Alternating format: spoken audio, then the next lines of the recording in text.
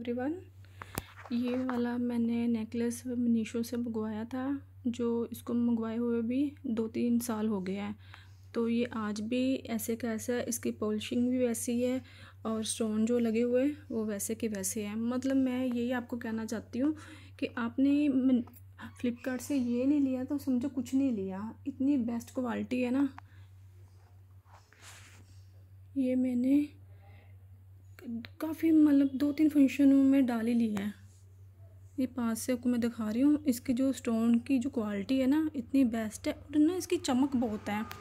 इसकी ना इतनी अच्छी शाइन है ना कि आप पर नाइट में या डे में जैसे भी मैं इसको वियर करते हो ना तो इसकी ना फेस पे ना मतलब फेस पे इसकी क्लैरिटी इतनी मतलब लगती है कि आपको मैं क्या बताऊँ।